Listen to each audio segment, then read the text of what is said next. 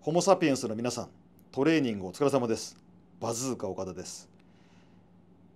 科学。まあ、我々ホモ・サピエンス、現状最強の武器です。この科学を磨き上げる場、学会。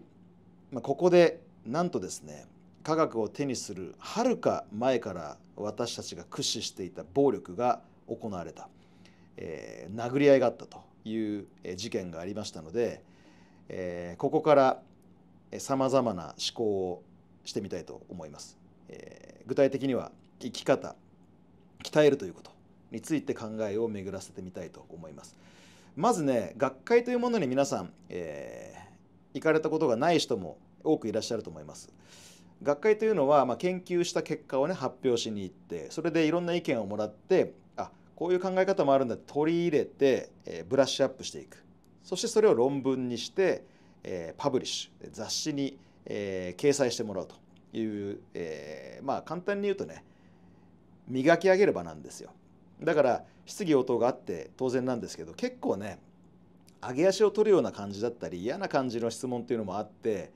まあそれで何か逆鱗に触れて、えー暴力に発展したのかもしれないというふうに、えー想像しています。まずねちょっと振り返ってみるとこれすごいことでね科学っていうのはこのホモ・サピエンスが現在ここまで地上で発展しているもう原動力ですよ。特に近現代においては。これまで宗教や国家そして科学っていうもので作り上げてきたホモ・サピエンス、まあ、いろんなものを考えて作り上げてきたと、まあ、その今現状最強の武器は科学ですよ。これをね感じたのが去年のイスラエルでエルサレムに行った時ですよ。もう本当に最も聖なる場所と言われているエルサレム。なぜかキリスト教イスラム教ユダヤ教の聖地があるから。そしてねなのでキリスト教徒もユダヤ教徒もイスラム教徒もわさわさいるわけですよまあ、バチバチ宗教で争ってるかと思いきや、まあ、基本平時ではそんな争いはないわけですよね。でもねそこでこの科学の、えー強力な部分を見たんですよね。すべての、えー宗教の方がねみんなスマホ持ってるんですよ。まあこれは宗教じゃない科学によってホモ・サピエンスは統一されてると私は思ったし、まあ、このスマホっていうのは科学の結晶でありねそれを売っている企業これ営利企業これ資本主義活動ですよね。資本主義と科学の結びつきっていうものはものすごいし、まあ、それがあるからここまで現在発展してるわけですよ人類ホモ・サピエンスはね、まあ、それを感じたんです。資本主義と科学によって統一されてるなというふうに思ったんですね、まあ、その科学のね、えー先端的な場である学会でもう科学も何もない頃からねもう下手したら火もない頃からまあ、下手したらというかもう火もない頃から200万年以上前からね使ってた暴力ですよ拳で殴り合う掴み合うこれをねやったっていうのはよく考えるとすごいことなんですよ。でいろいろ考えました。まずね科学者も鍛えろということですよ。これなぜか。いつ何が起こるかわからない。そうなった時に守れるのは自分の体だけだということをよく理解した方がいい。これは去年、えーイスラエルにおける、えー10月7日に起こった戦争で私も感じました。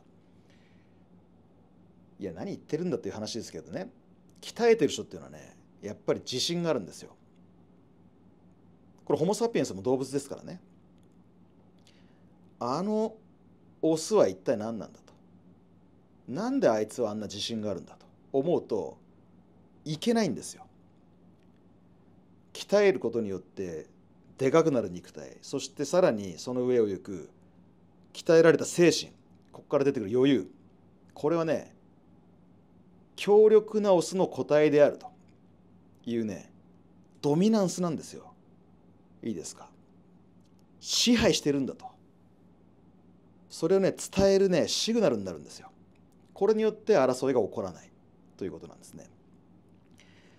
まあまあそれはね本当に、えー一つの考え方ですけどね。でも鍛えるっていうのはやっぱり心を強くすることであって動じない。これが相手にも伝わる。そして何かあった時には自分を守れる。まあということで筋トレやれという話。でこれで結論だったら意味ないですよね。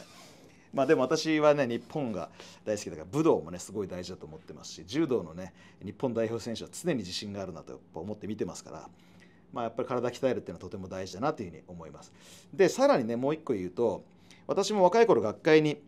よく言ってたんですけどやっぱ怖かったんですよね。何かこう上げ足を取られるんじゃないかなとか否定されるんじゃないかな。否定されるの怖いじゃないですか。やっぱり今だってねヤフーのニュースとか出るとヤフコメに書かれるんですよ。やっぱ見たくないですよ怖いから。YouTube のコメントもなんかたまにぐさっとくるんですよ。私もね感情を持ったホモ・サピエンスなんですよ。あんま厳しいことを書いてもらいたくないんですよ簡単に言えばね。誰でもそうですよ。どんな人間だってそうでしょ。でやっぱ学会ではね、まあ、特に若い頃は自分の知識も経験もないからやっぱり不安だったっていうのもあるんでしょうね。だからこそ恐れてたっていうのはあります。でもそういう上げ足を取るような言い方だったり否定をされるような言い方をしてくる人も確かにいるっていうのが事実で、まあ、これ学会だけじゃなくてさっき言ったヤフコメも YouTube もそうですけどねそういう状況になるなってる人がいるんでだから萎縮してくるっていうのはあるんですよ。これが議論の活発化が行われない一つの理由だとも思いますよ。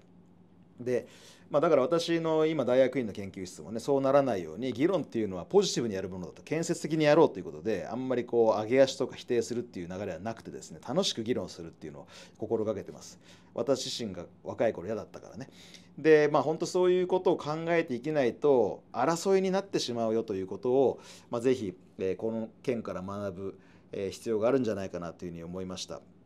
え、まあ、何よりも、え、本当にこの SNS 社会というとこで生きるというのが現代のホモ・サピエンスであってもう本当に今生まれた子たちっていうのは SNS が生まれた時からあるということでね SNS はもう本当に体というか脳の一部であるともう本当にこれはね拡張人間なんですよ。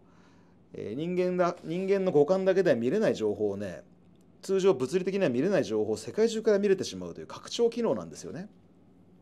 まあ、そういうことによって傷ついたりすることもあるわけですよね。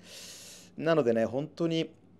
他者との接し方っていうものは気をつけなければいけない。どこまで行ってもやっぱり感情のあるホモ・サピエンスであるということを意識して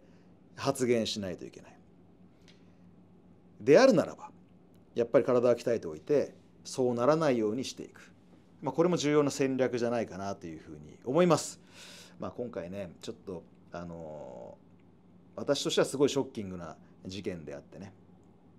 まあ本当にそうならないように